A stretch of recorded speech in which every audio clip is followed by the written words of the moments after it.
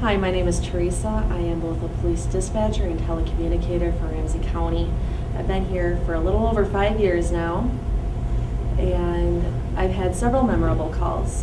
One of which I can really tell you about is uh, there was a call a few years ago from an area in St. Paul, and it was about three people who had been brutally murdered. And the caller's voice always stayed with me, and, and the panic and the concern for his family members always stuck with me. And we couldn't find, the police couldn't find who did it for a very long time. And it, it actually pained me because I felt bad, so bad for this family losing their parents and their siblings. And um, it just, it always stayed with me in my prayers, and I, I kept hoping for the best. And it was to my joy that this last spring they finally caught the people that were involved in that. And that was such a blessing for me, and it was just such an answered hope for those families, especially since I remember hearing what they sounded like at the time of their crisis.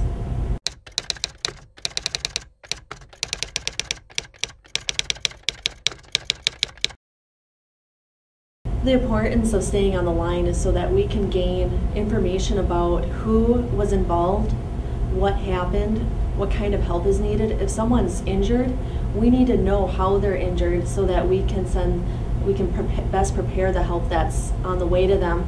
We can also uh, give medical instructions such as how to treat a gunshot wound uh, temporarily until the medics arrive there. Uh, we can also assess what's going on as far as who was involved. When we have the descriptions and the names of who was involved, it helps the police officers who are driving to the call to look down the street and go, hey, that person looks a lot like this description. Maybe this person is who we're looking for. Because many times the people that are involved don't stay put for the police. And we wouldn't expect people that have committed a serious crime to stay put for the police.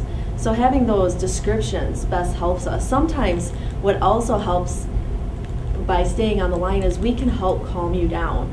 You're going to have to go through a huge process of talking to officers and depending on the level of crime you may have to talk to attorneys in the long run. So getting you to calm down is going to best help you relay the information on what just happened to the other people around you.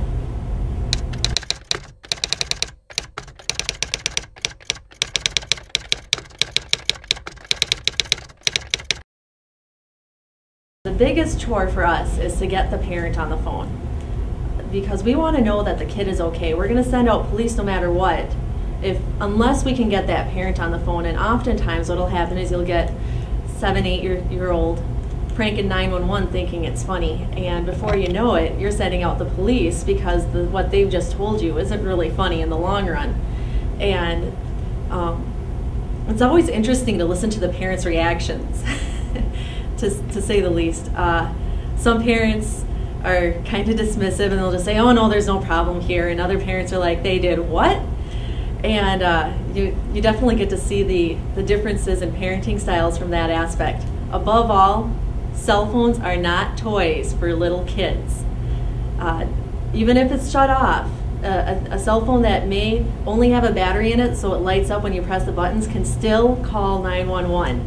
And they use the resources for everybody else that's also trying to call 911 and then we have to figure out are we talking to a nine month old or a person who can't breathe or can't communicate with what's going on so as cute as it is to give the kids phones please don't.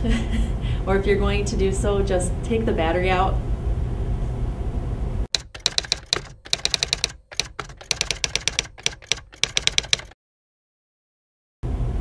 What I absolutely love, about my job is I get to help people, and it is the probably the toughest job on the face of the earth as far as helping people.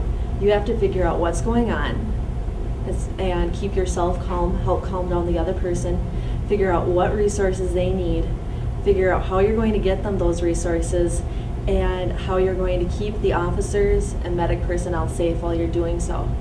That hell has to be done in a period of two to five minutes.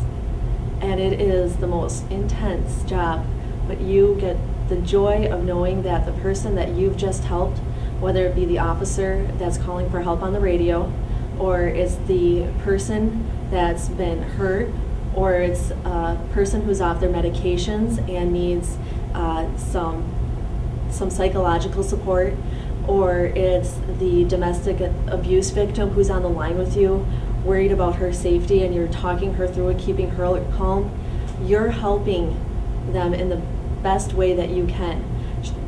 It's always frustrating that you can't just jump through the line and do something, but what you're doing is so much more important because you're set you're the starting point for all the other help that they're going to get down the road and by doing your job right, you're helping them get the right help that they need. I'm Theresa, and I'm a telecommunicator police dispatcher for Ramsey County.